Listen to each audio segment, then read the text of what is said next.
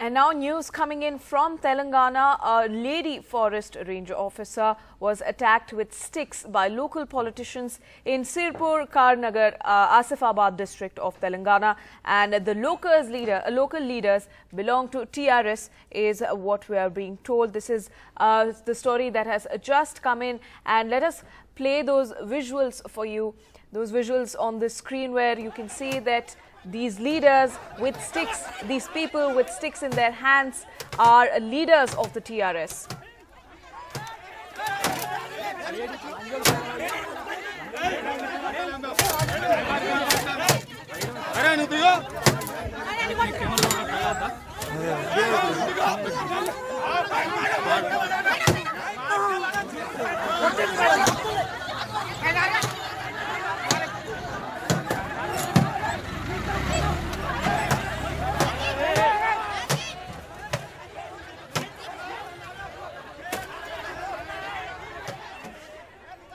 And there you saw uh, blows being rained on a woman uh, forest officer who was standing on a tractor. She was on an afforestation drive in that area when some local leaders uh, went with sticks and beat her up. They were also seen uh, hitting the tractor and uh, vehicles around and there were other forest officials also who were around Uma Sudhir now joins us on the phone line for more details on this very tragic incident that happened. Uma, what exactly happened? Why was this forest officer beaten up uh, by these local leaders and who are these people who beat her up?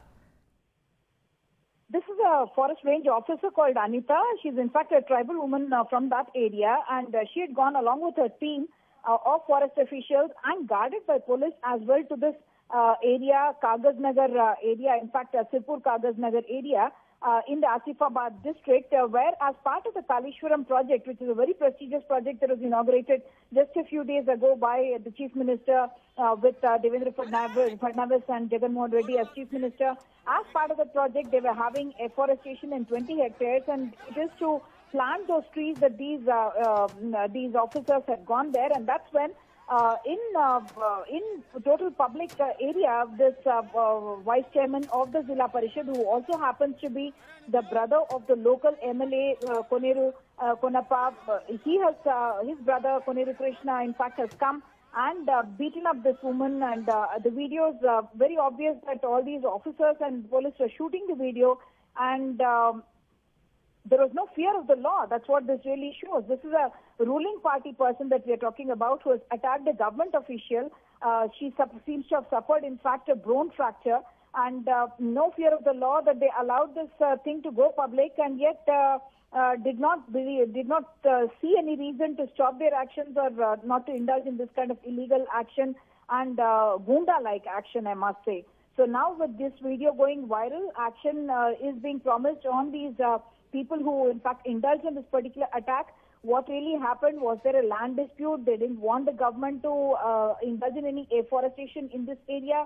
That picture not yet clear. Back to you.